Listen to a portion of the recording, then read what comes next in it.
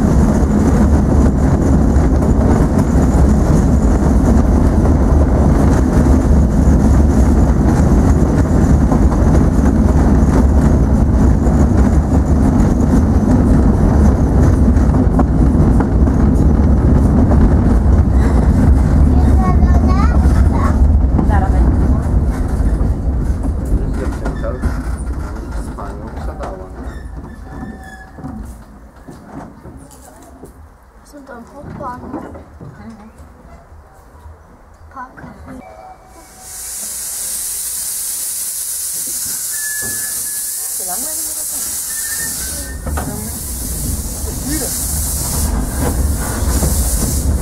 Ich habe keine Frage, wenn man das